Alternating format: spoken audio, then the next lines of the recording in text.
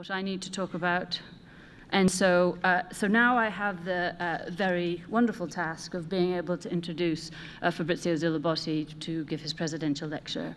So as I'm sure all of you know, uh, Fabrizio is a professor at the University of Zurich. He's pre previously been at UCL in Stockholm. He was the winner of the Yrjö Jahnsson Award.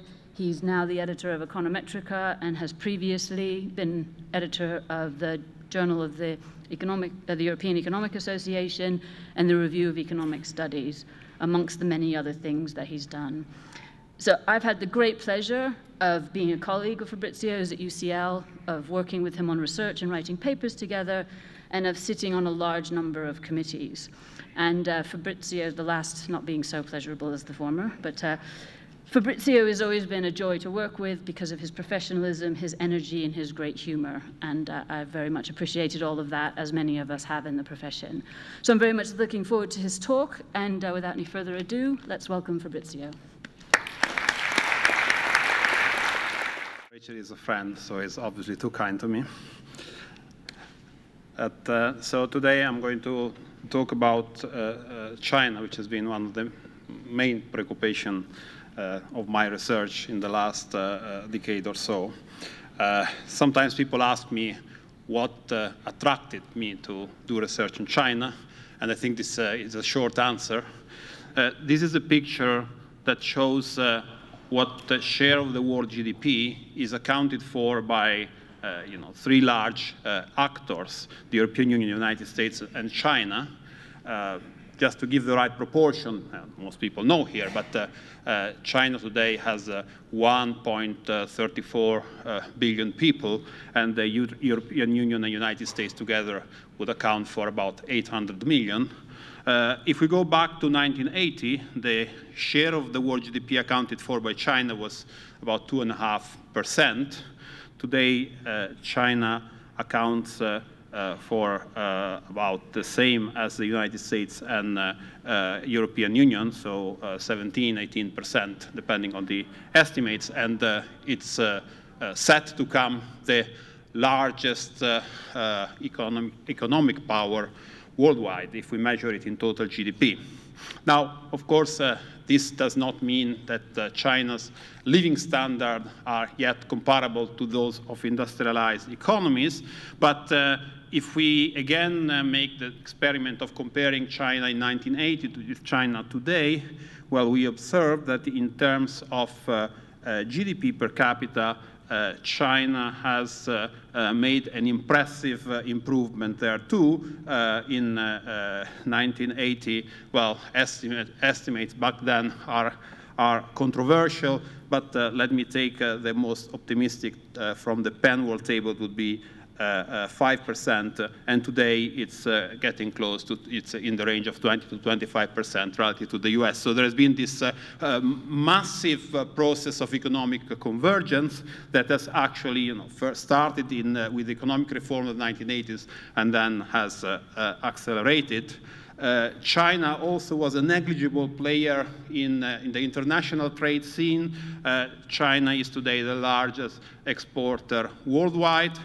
Sometimes people ask, uh, you know, growth economists uh, uh, only care about uh, GDP growth, but what about uh, economic development? Well, uh, of course, on this score, the, the, I should make a, a much longer and detailed argument, and also a number of problematic issues are associated with the economic growth of China. But this does not take away a very important observation that in 1980, 88% uh, of uh, the Chinese population lived in conditions that the World Bank classifies you know, in somehow arbitrary way, if you want, there's a threshold uh, uh count, uh, head count, uh, as living in extreme poverty. So it was the, you know, the, the, bulk of the problem of extreme poverty was concentrated in China, and today that number is below 10%. I understand that whether it's uh, what exact point estimate uh, is also subject to some question that concern uh, price deflator. So this may be overly optimistic picture. That does not take away that there has been a massive change. Now, convergence was especially fast in the 21st century. So actually, you know, most of our models predict that convergence should start fast and then decline. In, in China, it has happened a bit like the, a bit of the opposite, uh, probably because there's been so many reform, uh, you know, entering the WTO, etc. So the first decade of the 21st century was the, the, the magic decade, if you want, for China. Uh, then after 2011, uh, we started hearing about the problems with uh, economic growth uh, of China. Actually, if you look at the annual growth rate, it would not look as if uh, China is uh, uh, certainly it has slowed down because it, you know, from 10% to 6 to 7%, there's a difference, but still it's one of the fastest growing economy worldwide still. But there are other signs that uh, the uh, economy of China uh, is experiencing problems. So we have, we have observed a sharp fall in the TFP growth. The return to investment, this was one of these uh, magic observations that they, they, were not falling against uh, the prediction of many models. Well, now they have fallen and, and very, very sharply. Uh, there are sectors of the economy that are kept alive somehow artificially, but China has a big problem of excess, excess capacity in areas like cement and steel, where the demand demand worldwide has fallen, but uh, uh, you know, part of that fall is, is, is, is, related to the crisis of some sector like construction sector in China. Uh, there has been also increasing uh, concern for financial stability, uh, phenomena such as the stock market turbulence or uh, the boom of private and public debt and the increase of shadow banking have been mentioned as uh, uh, uh, you know, source of concern about the sustainability of the current path of economic growth for China.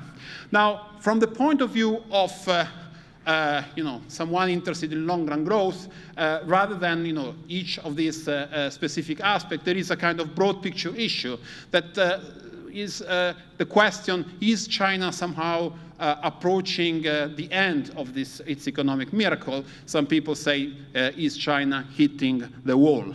Uh, so there is some evidence that I would not uh, uh, classify as, you know, 100% conclusive, but at least some studies, and here is one of the uh, one account from a, a, a group of uh, researchers at the, IMF, this is from an IMF working paper, that uh, emphasized how economies, when they reach something like 25, 30% distance uh, of um, uh, GDP relative to the frontier GDP, uh, they experience some slowdown. So this is a bit of an unusual graph where, that is constructed like this.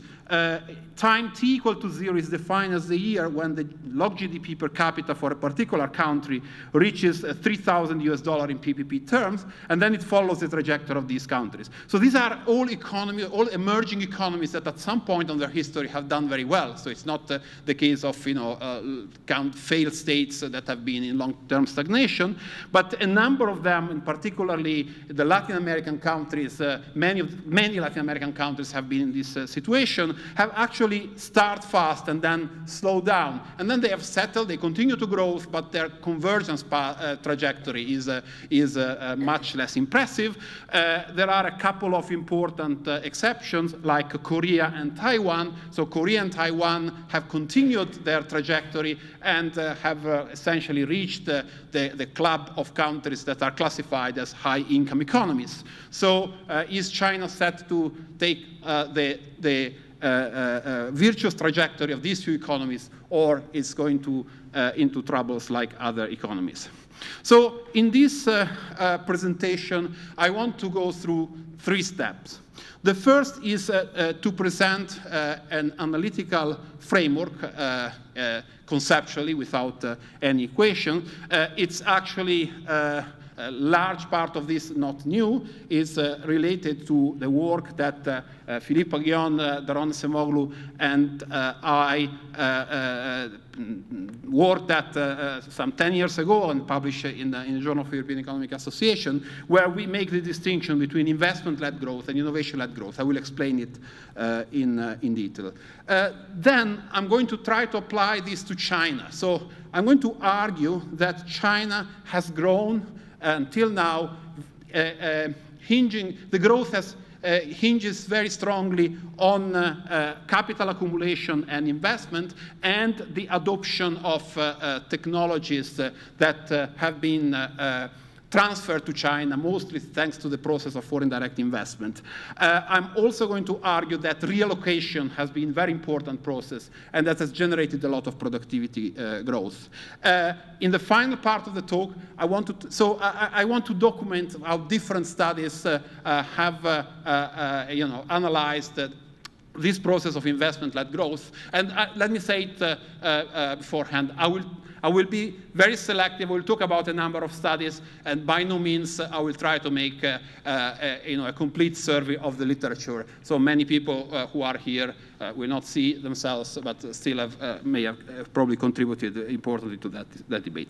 So, and, and in the last part, I want to talk about the transition into innovation-led growth. Is China making that transition? And some ongoing research that I'm doing on that. So uh, let me talk now about the analytical framework. The, the, the main idea is that uh, the process of growth has uh, different engines. In particular, we, we distinguish uh, between two engines. The, the first is uh, uh, far from the technology frontier. countries grow by physical capital accumulation, uh, reallocation, as I was mentioning, and the imitation and adoption of technologies that are used by firms uh, in, in other countries. When, as um, closer to technology frontier, there is another engine that becomes more important, largely because you know the, the possibility of adopting and imitating technologies uh, uh, shrinks, uh, the adoption becomes more sophisticated, so it becomes more important for a country to develop an innovative and own innovative capacity, and so growth becomes more reliant on innovation and human capital accumulation. Uh, now, there is a natural tendency of the economy to move from one stage to the other, but what uh, our work also emphasizes is that different policies are um, effective at different stages of the process of development. In particular, to support and to uh, strengthen investment-led growth, uh, some policies that are typically not uh, recommended as part of the so-called Washington consensus uh, uh may actually be effective. So policies that create discrimination in favor of uh, some firms, uh, in favor of some groups, in favor of some areas, may actually be successful in driving the process of growth. Uh, the case of China, as we'll argue, but uh, uh, this was a, a, an important trait in the case of Korea, for instance. So, uh, and even some type of creation of a strong position of incumbency advantage may be good for growth. Why is that? Well, because at an early stages of development, the, most important problem is to mobilize resources. So alleviating coordination problem, overcoming credit and contractual frictions is especially important. For innovation-led growth, something, uh, different type of policies are necessary. In particular, uh, competition becomes very important. So creating the condition for level playing field competition, uh, and since much of the innovation and the new idea is carried out by uh, new startups, uh, this policy that creates uh, competition and low barriers to entry uh, uh creates entry churning, uh, promotes cre uh, creative destruction. Financial development is especially important because there is a lot of risk involved in new startup project that can have a high potential, and it's important that this risk does not have to be borne by the entrepreneurs, but by specialized financial institutions like venture capital or private equity. Uh, investors protection is also important to, uh, to support growth at this stage. Uh, low corruption, good institution. Now, uh, the point uh, that we make in, uh, in, the, in, the, in the theory, from the formal theory, is that there can be a risk of non-convergence trap when the policy does not change. So let me uh, exemplify this with a parable of China. So China in the 1990, so on, on this graph on the horizontal, you see the, uh, an index of proximity to the frontiers. So the total factor of productivity at some time t minus one relative to the frontier and uh, at time t on the vertical axis. So what this graph shows is that investment-led growth for a country like China in 1990 uh, was actually more powerful engine than uh, if they had institution more, uh, uh you know, prone to more, more uh, uh, supportive of innovation. But insistence on those institutions can actually lead, can actually lead China to stick to the red line and at some point to stop converging. Now, from the empirical point of view, there is a, there is a, a, a prediction of this theory that uh, the growth rate uh, of GDP per capita is related to, the, uh, uh, to an index of distance to frontier. Actually, let me revert it. Let me put on the horizontal the proximity to the frontier. Uh, and the idea is that uh, when an economy is very far from the frontier, so in, like in the, in the close to the vertical axis, then uh, uh, countries with institutions that promote investment-led growth actually grow faster. But if those countries insist on those uh, institutions, they actually suffer a faster slowdown than uh, countries where there is uh, uh, more reliance on innovation-led growth. So this is the empirical implication that already in 2006 we tested. let me give you some new highlights on that.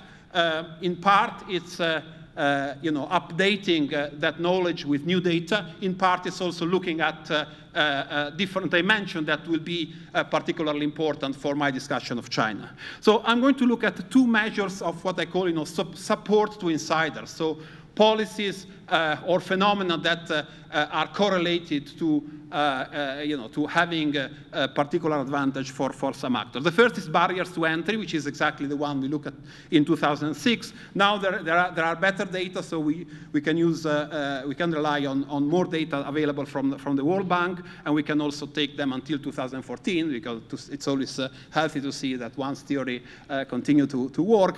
the other is a measure of corruption. So corruption often means a particular way of solving some agency problem that has, the, you know, by, by its own nature, tends to create position of advantage and not equal conditions. So, you know, when you speak to people in China, the first thing they tell you, well, in China, being connected is important. Why? Well, it's related to the fact that corruption is a very important uh, factor of uh, life and business uh, in China. So, and, and I'm also going to look at another measure, which is a proxy for the innovativeness of the economy, R&D as percentage of GDP. I'm going to use a measure of the World Bank. I will show you some, some graph based on non-OECD countries, but actually the results hold true also if you include OECD countries. Okay, so I'm going to present uh, three set of pictures. These are international data, so we are not yet in China. Uh, uh, I'm looking at uh, measures of barriers as uh, proxied by uh, the, the number of procedures needed to start a new business. there are other measures, the result would be pretty similar. And I'm categorizing countries in high versus low barriers by taking the average. Unfortunately, the, the, time, the time series I mentioned is still very limited, so one cannot do much on that in terms of the, of the barriers. So here I'm looking at the average uh, barriers uh, to entry, and I'm, I'm distinguishing between uh, higher and lower than the median. Uh, so on the, on the, top, uh, the top graph, you see um, uh, th these are just pooled regressions. Don't pay attention to the level because there, is, there are normalizations involved. Pay attention to the slope. So the slope there shows that countries with uh, high barriers, when you pool uh, uh, five years average observation on the growth rate, uh, so here it's a pool cross-section and time series, well, there is a, a negatively sloped uh, relationship between uh, uh, growth rate and GDP per worker relative to the US. And the interesting thing is that the slope is in absolute value higher than on the, on the right-hand side for low barriers country. Now, perhaps more interesting, the, the same is true when you, do, when you run within regression. So when you control for fixed effect, well, it looks as if uh, countries with high barriers uh, tends to be uh, significantly more prone to a decline of the growth rate as they approach the frontier relative to countries with low barriers. The same picture is true when I look at corruption. So uh, actually here I can tell you the average, the, the average effect of barrier indeed depends on, on the distance of the frontier. Corruption in general tends to be bad because it's also a mixture of, uh, uh, you know, some agency problem and some other rent extraction phenomena. But, uh, but when you look at the slope, uh, it's much more harmful for an economy to, to be in a high corruption regime when this economy comes close to the technology frontier than when the, that economy is far from it. Uh, for R&D, uh, as uh, again in, in, in, line with our way of thinking, it's the countries that put less investment on R&D. Actually, here I was a bit surprised because I thought there is little signal in the data from non-OECD countries that don't invest much in R&D. Well, again, the, the, the results are quite stable and, and robust. We have run regressions in a more formal way than the graph that uh, I've shown you. Let me just uh, take you uh, through one of them, the case of corruption. Uh, so uh, you can control for education, uh, fix effect. you can also try to instrument using dynamic panel techniques. The results are very robust. And in panel B, you see a specification that instead of classifying countries at high and low barriers, actually it's a continuous measure. So it's an interaction specification, and the theory predicts that the interaction between proximity and the measure of corruption, the way it is defined, should be negative uh, it is negative, and in most cases, not all, uh, highly significant. Okay, so having given you this picture, let me move, uh, let me move to China. So uh, the first part of the talk, which is uh, the one that relies on uh, you know, papers that have been finished and published, not all involving me, but I will have something more stable to say. On the transition to innovation-led growth, I will present some work in progress. So this is uh, actually when did the investment-led growth uh, uh, start in China?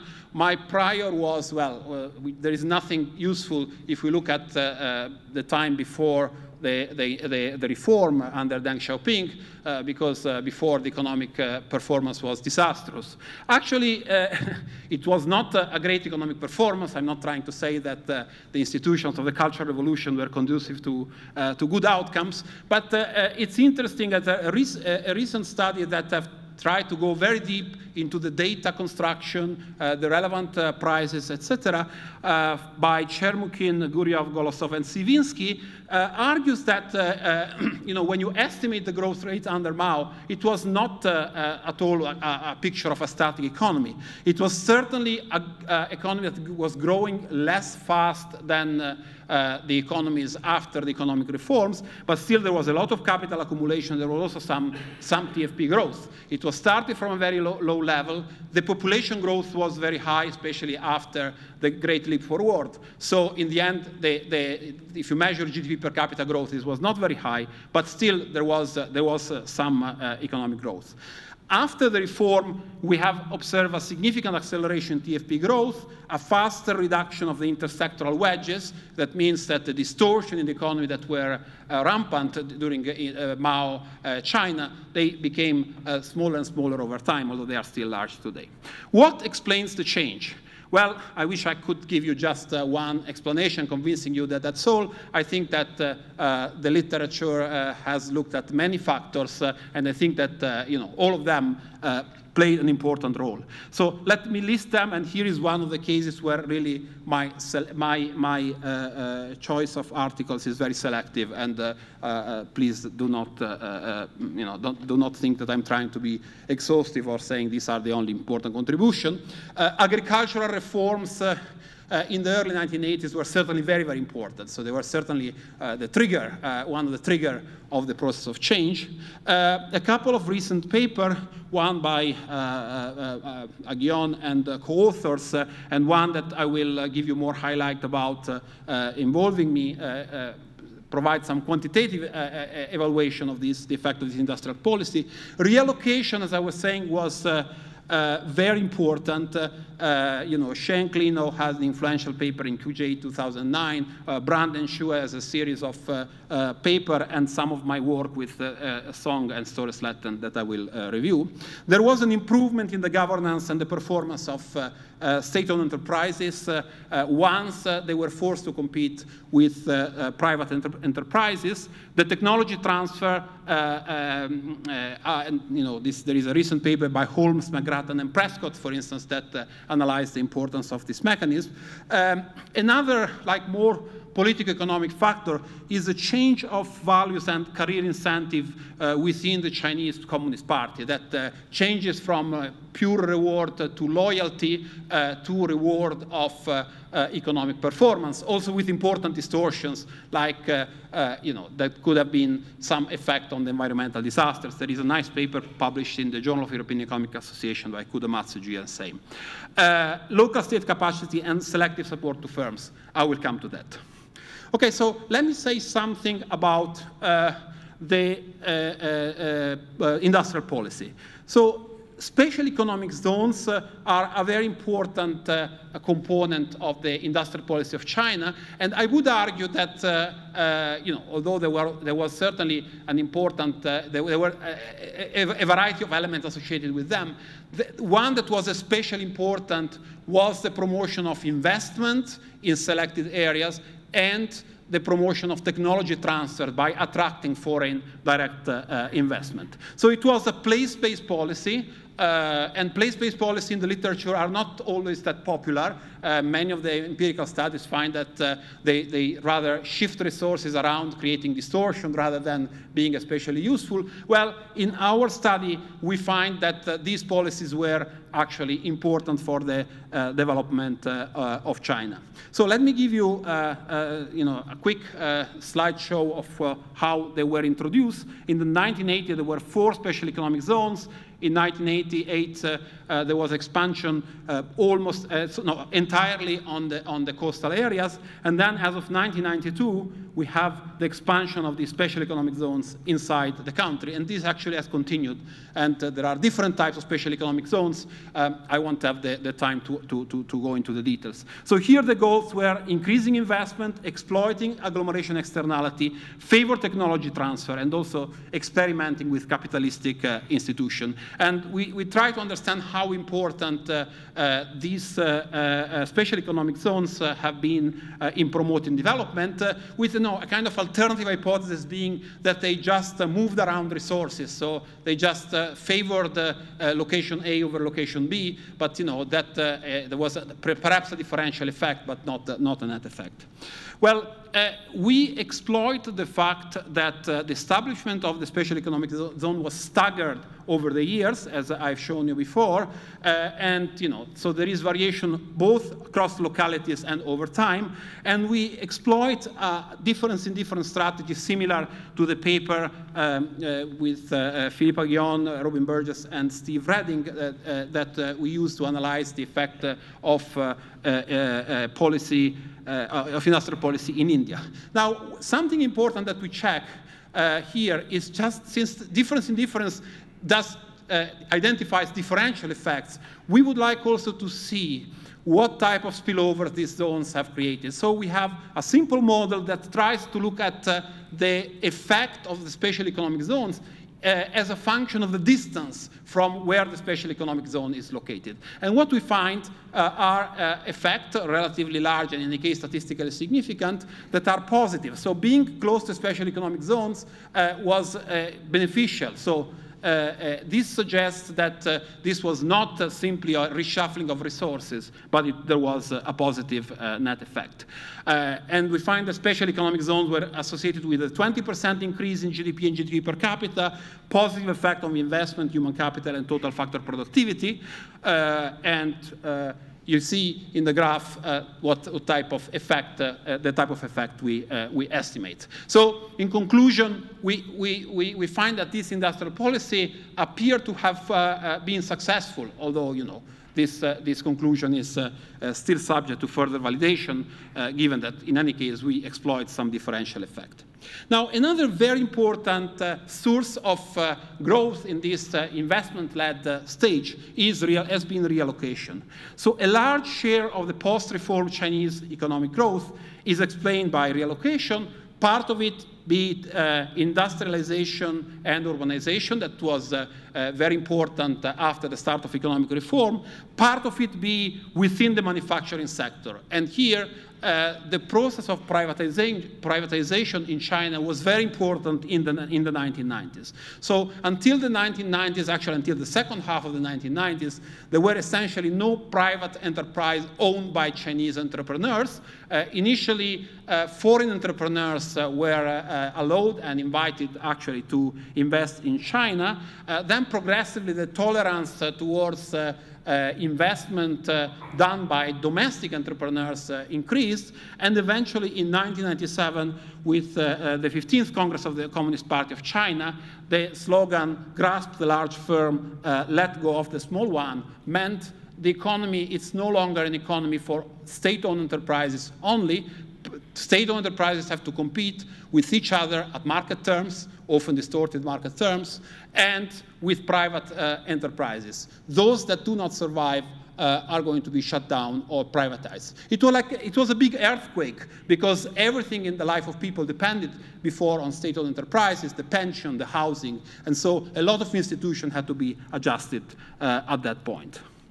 Now, from the point of view of economic growth, just this uh, transition, so the fact that uh, many more productive uh, uh private firms came into existence and that uh, state-owned enterprises were either forced to become more productive or forced to shut down, well, that created a lot of growth. According to our estimates, uh, I mean, in the, in, the, in the, period where this was more intense, uh, it could account between 50 and 70 percent of the growth of the manufacturing sector, which is very important in China.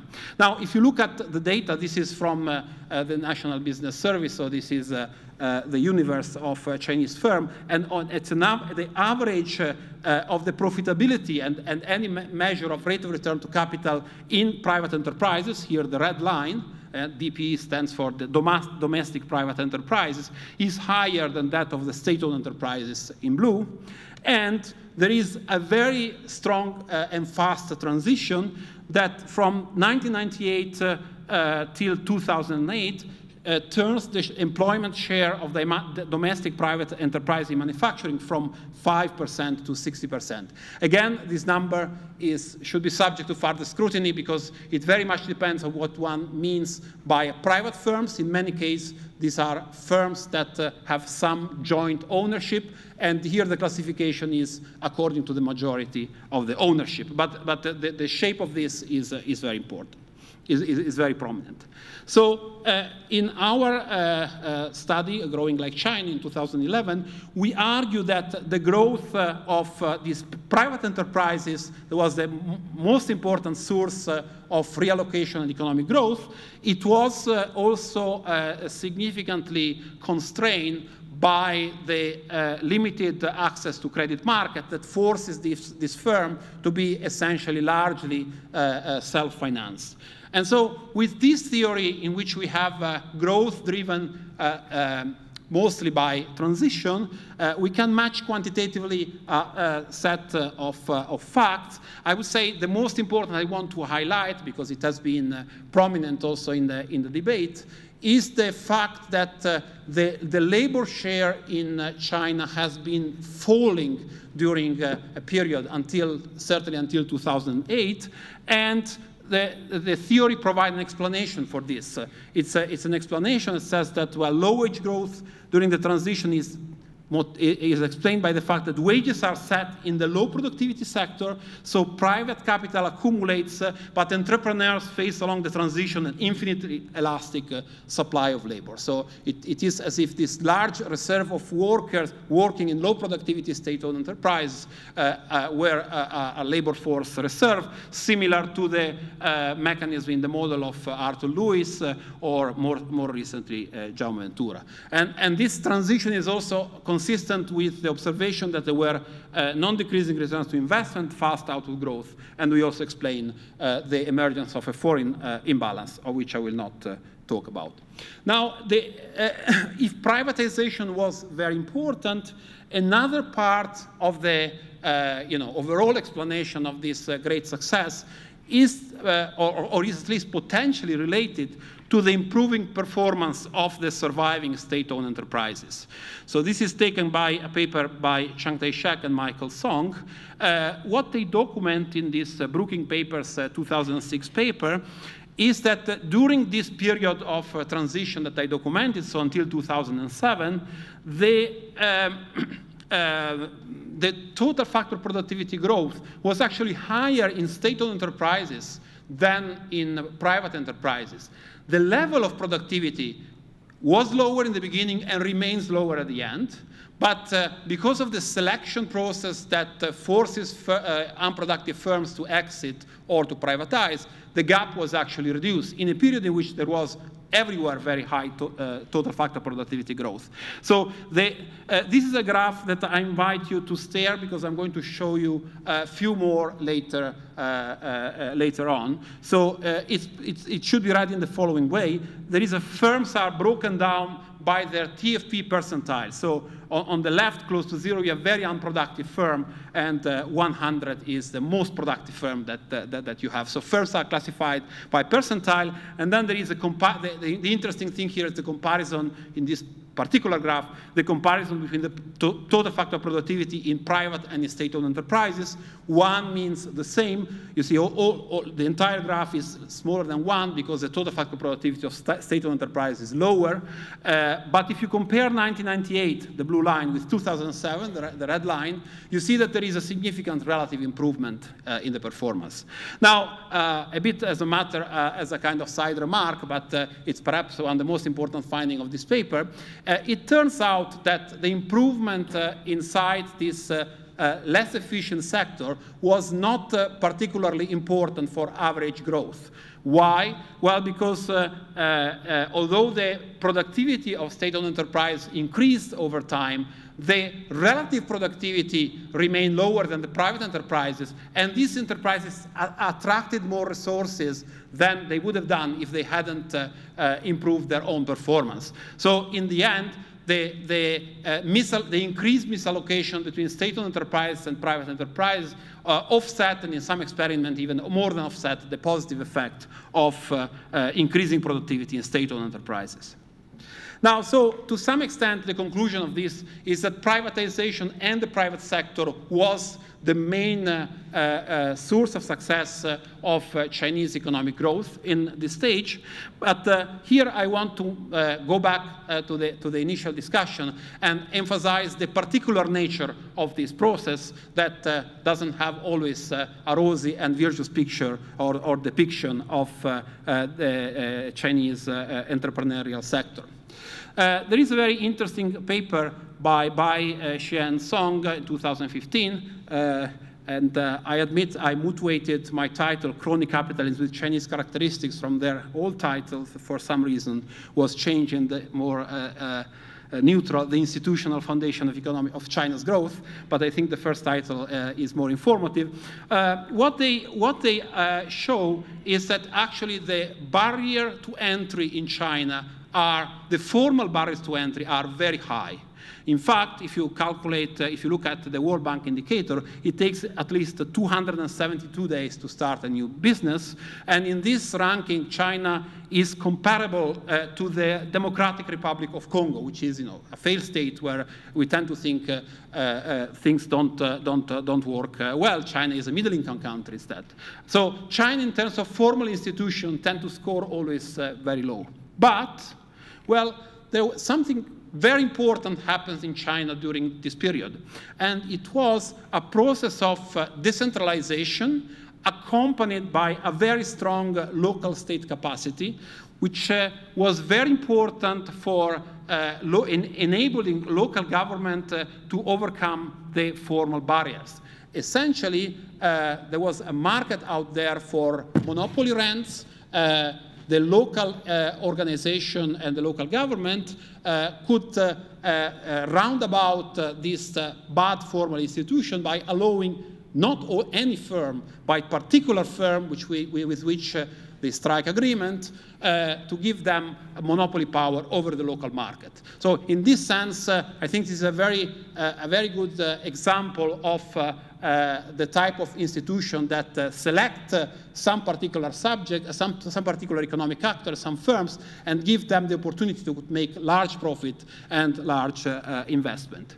Now, of course, this, this, was, this is consistent with a high tolerance for corruption, and it is the model of growth that has dominated, at least before the new recent campaign of Xi Jinping.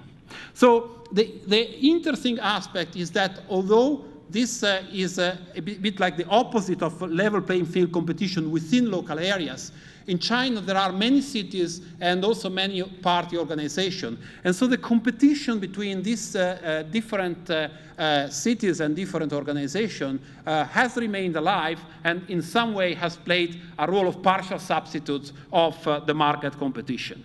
Well, here's a picture that I think summarizes well, uh, it's from their paper, so, uh, uh, but it summarizes well the, the, the, the, state of affair. You go to any city, all taxes are identical, but you go to another city, it's a different type of taxes. So uh, that's, uh, that's a type of uh, you know, investment-led growth or crony capitalism with Chinese characteristics. Interesting, private entrepreneurs uh, appear to be grateful because you know in this uh, system in which uh, incumbents are strongly protected and also uh, in a, in, a, situation in which wage growth is compressed partly by institutional reason and also part by policy um, there was uh, uh, entrepreneurs are very very successful categories so one might expect that as the economy gets privatized uh, firm owners would uh, become a threat to the political uh, system of the monopoly uh, of power of a single party.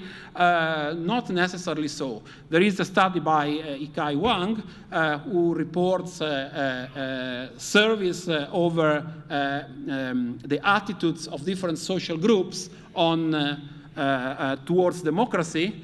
Well, uh, if you look at entrepreneurs, they are the least positive about, about, democracy relative to other social groups. You might expect that, uh, you know, communist ideology, if anything, uh, appeals uh, to uh, regular workers, it appeals uh, in this form to entrepreneurs. In fact, it's more, it's more telling whether one is an entrepreneur than if one is a member of the Communist Party of China. So being a Communist Party of China makes the respondent uh, less positive towards democracy, but being entrepreneur has a stronger effect uh, than that.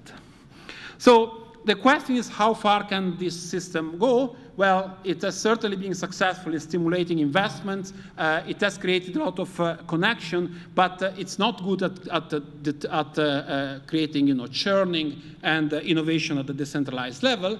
Now, since 2012, the uh, corruption campaign inaugurated by Xi Jinping uh, means also a threat to its viability and the way it has gone uh, for, for a decade or so. and the, the authors of this paper raised the question, well, is this leading to a different type of growth? Well, that requires additional reform, or another possibility is may choke off growth altogether. Now, uh, the last uh, uh, bit uh, of uh, investment-led growth that I want to mention is uh, the Chinese economic stimulus package. so, as I mentioned, you know, if you also remember my pictures, my picture before, around 2008, there is overall an, the end of this magic process of reallocation that produced so high growth, and at the same time, the world entered uh, the, the Great Recession. And uh, uh, China initially appears to be affected by the, the fall in the international demand. And so there are also signs of slowdown. the Chinese State Council uh, uh, Uh, uh, decides to intervene with a very powerful plan that injects uh, something like 600 billion US dollar that if you, if you make uh, the comparison is, is a larger intervention than, than the um, stimulus package in, in, in the US, mostly focused on infrastructure. So public infrastructure, in fact, attracts the lion's share of this uh, uh, investment, 38% uh, of the total.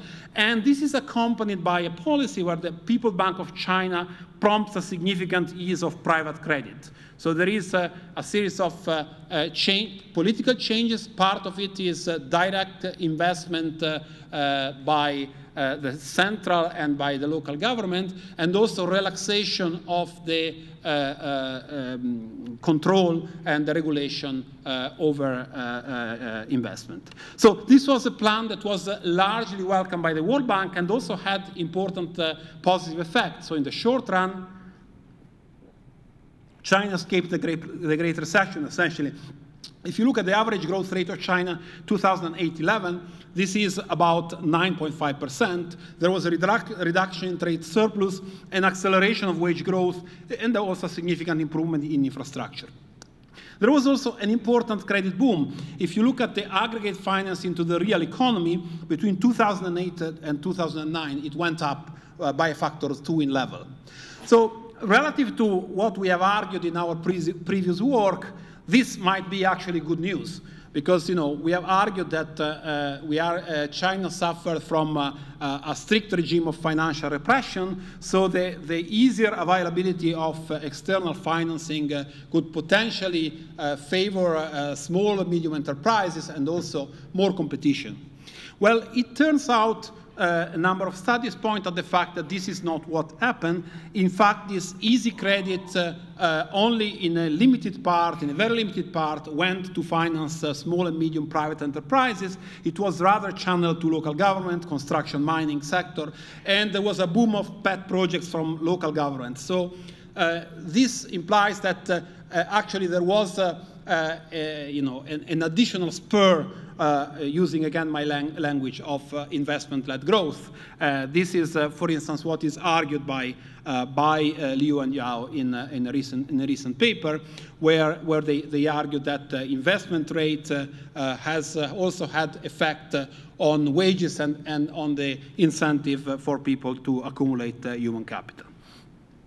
So this is, uh, you know, my picture of uh, the past of, of uh, China. I want to spend my uh, last uh, uh, uh 20 minutes uh, in talking about some more recent research where we are trying to get to a question that it's not, not very easy to answer, but we are trying to make our best, best attempt. So the question is, is China growth, is Chinese growth turning more innovation-led? Well, the, the, the, natural candidate to look at is uh, investment in innovative activities. I would say two indicators are those we normally use as economists uh, for looking at uh, innovative investment. One is R&D expenditure, expenditure in, the, in the research and development. One is uh, patents. There has been a boom of both. I will focus on research and development expenditure, although we plan later to match this to patent data, because studies so far on patents have overall found very mixed results about, uh, you know, there is, there is a sense in which uh, the boom of patents uh, uh appears to be very much related to uh, incentive uh, created by, by regulations. And it has been very difficult to find robust correlations with productivity growth. I will show you that with R&D, uh, and I will go to the firm level analysis, this is instead, instead the case. So let me start from the macro picture.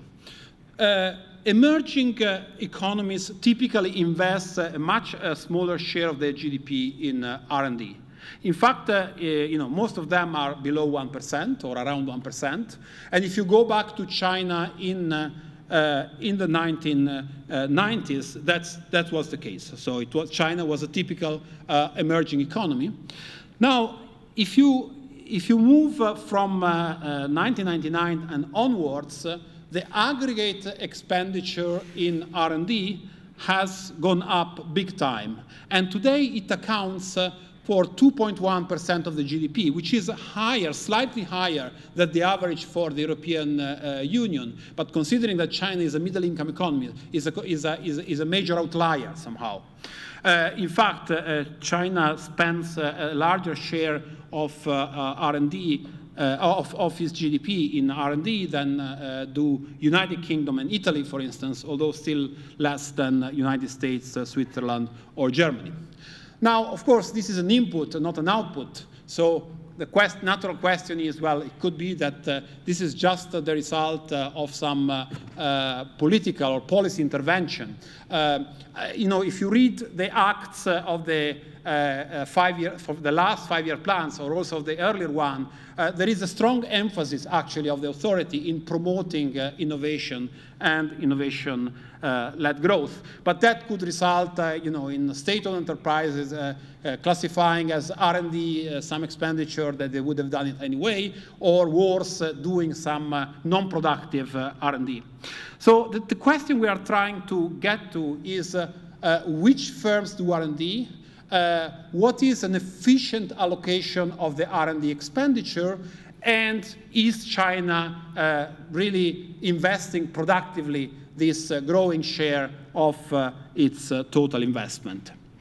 Uh, so let me go uh, for a moment uh, to uh, a general theoretical framework because uh, I think we know we, we don't have uh, that many guide, you know, guide, that, that much guidance to give the answer to this question. So which firms should do R&D and which firms should not do it? there are models, but Mm, uh, let me let me mention uh, uh, a paper that I, uh, uh Michael Koenig, Jan Lorenz, and I recently published on theoretical economics. Uh, this is uh, a model of endogenous growth with endogenous firm dynamics, where the productivity growth, the entire growth distribution moves over time. firms have the option to improve, upgrade their productivity, either by uh, doing uh, an act of innovation, so searching for a better technology that in the data we map to R&D expenditure, or by imitating the technology uh, used by other firms. In this case, uh, we, we model it as a matching process where firms that are, are uh, if they decide not to do R&D but to, to imitate, they are randomly matched uh, with uh, a number of firms and they can pick the firm that has the highest uh, productivity with, with possibly some additional friction. So from the theory point of view, in this paper we show that productivity distribution converges to what we call a traveling wave. So it's a distribution that has two Pareto tails and that we show that matches some of the empirical evidence for uh, industrialized countries. Now, the aspect that uh, we take to the data for China is the following.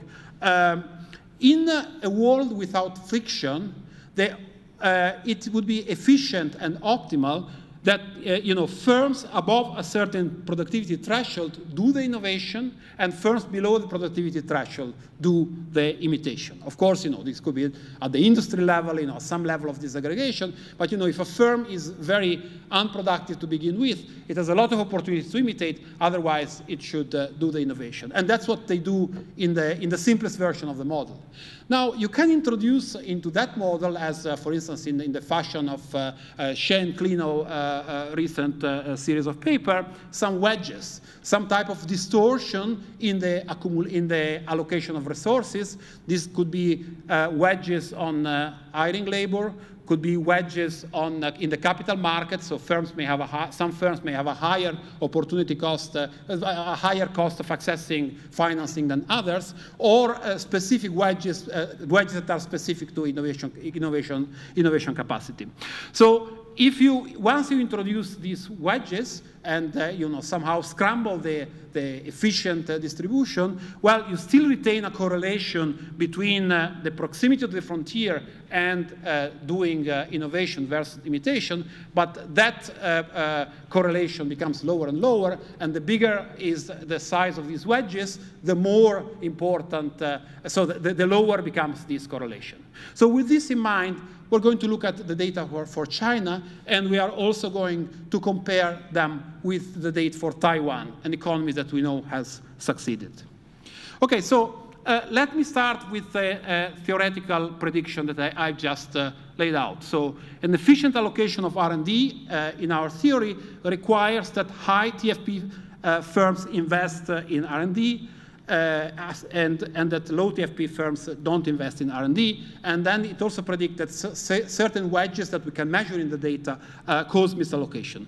I should say that uh, this is based on joint work with uh, Michael Koenig, Michael Song, and Kjetil Storesletten.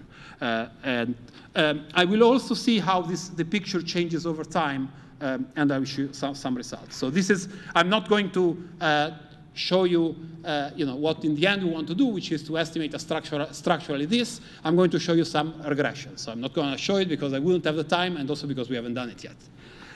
So um, the first regression I want to uh, emphasize is, uh, uh, so I'm going to show you a series of regression that look at the extensive margin of uh, uh, growth, of uh, R&D investment, sorry. So we have done this for extensive or intensive. Extensive margin meaning, mean, meaning doing versus not doing R&D. Very few firms in all countries uh, spend on R&D, so one could look at uh, you know, the, the, the, correlations between characteristics of firms and uh, doing uh, versus not doing R&D, or you could look within the population of firms that do R&D, which one do more and how it correlates with TFP. What I'm going to show you now is the extensive margin, but the intensive margin is pretty similar. So first of all, uh, and all the regression I'm going to show you control for industry dummy at the three-digit level, and uh, we could, uh, and the results are similar with the four-digit uh, uh industries. So the first thing I want to emphasize is that uh, in the universe, this is data is based on the universe of uh, Chinese firms, and we have R&D in 2001 and in 2007. Well, there is a, a high and significant uh, uh, correlation between doing R&D and the total factor productivity as we uh, estimate. So in column one is uh, uh, without controlling for other wedges. In column two is after controlling for investment and labor wedges. In column three is also controlling for firm fixed effect. So we are essentially looking at firm that switch into or out to R&D in the two periods that we are considering. and so you know, the, the coefficient is significantly different in column two and column three. This is not surprising because a lot of the variation comes uh, from, uh, uh, you know, cross, uh, uh, uh, you know, is, is a cross firm rather than within. At, at, the same time, uh, you know, it could be a signal that a lot of this uh, is driven by uh, heterogeneity. But there is no pretense here of identification. I, am just interpreting this as correlation. So in China, firms with high total factor productivity are more likely to do R&D. firms with high measured wedges that we can retrieve from the data, labor wedges and investment wedges, are less likely to do R&D. If we look at ownership, actually there is a, a significant, actually these effects, uh, I won't have time to get into the details, but are also sizable quantitatively. Uh, so these uh, uh state-owned enterprises actually do more R&D than uh, uh, private enterprises. So there is evidence that some of the allocation is driven by ownership. This could be a sign of misallocation. The second question is whether the R&D allocation improves or worsens over time. So we can look at whether this uh, correlation increases or, in, or decreases over time. Well, this picture already, already gives you the, the answer. We have also done it in a regression fashion. So in 2001, although firms that do R&D are on average, uh, have on average a higher total factor productivity, the difference is not very large. Whereas in 2007, this difference becomes, uh, becomes larger. And if you do it uh, uh, by regression, you, you find you have the same finding. Uh, it's also interesting to look uh, at switchers. So we have firms in 2001 and 2007, and if you look at firms that uh, were not doing R&D in 2001 and they do firms in 2007, uh, what is their distribution over uh, total factor productivity? Well, this is given by the red line, and the red line shows, particularly look at the, at the left and at the left hand graph, which is based on uh, total factor productivity in 2001, which has a less uh, dramatic endogeneity problem. Well, it's uh, uh clear that the, there is a positively sloped relationship. It looks as if the firms that starts doing R&D between 2001 and 2007 are mostly firms with higher with high productivity. We can also look at the firms that stop doing R&D. This is the blue line. Then we find no correlation. Well, again, R&D is an input. Do we have is there evidence that uh, uh, R&D at the firm level predicts uh, higher productivity growth? Well, the answer is yes. Uh, both in 2001 uh, and in 2007, uh, productivity, future productivity growth is predicted by, on average, by uh, uh, doing R&D, and also on the intensive margin, firms that do more R&D uh, have a higher productivity growth. It's especially interesting, the second of these two pictures, because you see that when you look at the, uh, so the first correspond to the 2001 predicting the growth 2001 2007 the second is 2007 predicting growth 2007 2012 and you see that uh, uh, so the red lines are the, the red uh, the red picture is firms that do R&D and the, and the, red curve the blue curve is firms that do not do R&D so uh, uh, in uh, in 2001 the entire distribution is shifted on on the right. It means that future growth is higher for firms that do R&D in 2007, on average, this is still the case, but more so for firms that have a higher productivity. So Firms with high TFP appear to, uh, appear to be, again, in a, in a correlation sense at this point, as the firms that actually uh, benefit most uh, from R&D, and there is a positive uh, average effect of doing R&D. So R&D is a predictor of, uh, of growth. All of this is good, but uh, somehow qualitative. What is the benchmark? Well, we went to Taiwan and we got the data from the universe of Taiwanese firm and we drew some comparison. And the comparison uh, gives the following uh, verdict. Well, uh, everything, all the correlation have the sign that our theory predicts from, from China. Remember, no correlation in, at, with the lens of our model would, would be a sign of misallocation of R&D. Well, Taiwan has a much steeper correlation than China. So in this graph, again, firms are, uh, like, like, I told before, firms are, are plotted by percentiles of TFP. So on 100 are the most productive firm, on zero the least productive firm. We do the same for the Taiwanese firms. And you see that the, the, the curve is much steeper for the Taiwanese firm than for the Chinese firm. So there is much more sorting uh, in line with uh, the prediction of our model in Taiwan. And one interpretation that you can give, and the structural model would, uh, would actually calls for that, is that there is more misallocation of R&D in China in 2001, 2007, uh, then in Taiwan, 1998, uh, 1993. Why do we go to 1988, 1993? Well, because we think it's uh, more useful to compare China to what uh, Taiwan was uh, Uh, uh, 30 years ago. Uh, we cannot go further back for, for, data, uh, for data constraints. When Taiwan was, you know, was already rich than China today, but somehow more comparable. But we are collecting more data to do this in a more systematic way. it is also the case that the relationship between uh, R&D and future total factor productivity growth is much stronger in Taiwan than uh, in China when you compare the two periods. So, and particularly so for firms that are very productive. You see that we have put it in the same scale here. So before it looked like there was a difference. Now in China, there is hardly any difference. Well, it's because of the uh, scale in which we are representing. We want to represent it in the same scale as China and Taiwan. And you see that in Taiwan, the effect, uh, the correlation is, is, is much higher and more so for firms uh, in the, in the uh, high uh, TFP uh, percentile. Remember that here we are controlling for, so it's, it, it, of course, you know, at any level of aggregation, there is some, some composition effect that one may worry, but here we are controlling for uh, uh, firm uh, fixed effect uh, at the, at the four-digit level, so it's, it's, very, it's very fine, finely grid. Uh, okay, so since my time is running short, uh, this is just this is just a regression representation of what I've shown you. In both China and uh, Taiwan, uh, you know, uh, doing R&D predicts future growth, and uh, but more so in Taiwan than in China, and also the, uh, this is stronger and stronger uh, for high TFP growth than for low TFP growth.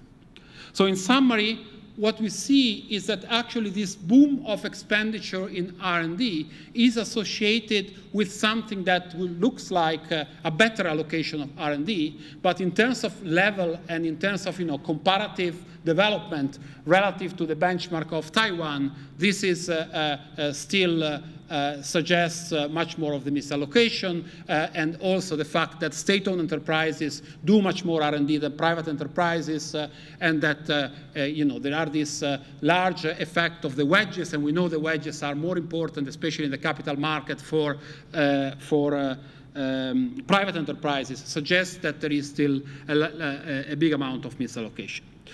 Um, so my time is coming to an end. I would have liked also to say something about uh, uh, the increase in uh, human capital, but I will uh, uh, actually skip this and uh, instead come to conclusion. Um, so I want to, to, take stock of these, you know, highlights I gave you and also from my uh, general view about the growth process uh, in China. First of all, you know, there is a lot of discussion within outside China about uh, whether the growth miracle is going to continue. I think that any reasonable forecast must uh, be that uh, uh, the growth is set to slow down. So we will observe, we will not observe China growing at 10% over the, the next 20 years. So it's partly physiological, it's partly neoclassical convergence. However, uh, there are uh, signs uh, that suggest that uh, the slowdown may actually be much, maybe more pronounced than what we see in current days, largely because uh, a lot of uh, what sustained this growth rate around 6 to 7 percent appears to be a somewhat desperate attempt to keep the figures good. Uh, I think that uh, to uh, avoid a more severe slowdown, China still needs more uh, emphasis on financial liberalization and financial development, uh, better institution for investor protection, like independent judicial system, which is, of course, one of the area where uh, there is more tension with the nature of the political system of China, more level playing field competition, less formal barrier. There is some evidence in the microdata that China is actually making making a transition towards a more innovation-driven model, uh, there is also, but this is still very preliminary, a sense in which uh, uh, this is subject to important misallocation problem. Um, from the policy point of view, uh, I believe that uh, uh, imposing or self-imposing very demanding short-term growth objective is likely to call for bigger troubles in future. So I'm not claiming any, any uh, you know, particular influence on the Chinese leadership. But uh, if I were to give a suggestion, I would say do the structural reform. Don't worry uh, about having you know three or four percent uh, growth rate uh, in the in the next uh, couple of years. I don't have the impression that this is a line the current leadership is taking. There is a big question that I have not touched upon, not because. I think is unimportant. I think it's probably more important than anything I've said, but uh, uh, you know, is uh, the nature itself of the institution in China consistent with this transition in innovation-led growth? I think there, is, there are big question mark, and in you know in some in some way uh, creating equal condition and competition in all the experience uh, we have had so far uh, has gone together with open political institution, and this is of course a critical area where we don't see at the moment much change in China. Thank you.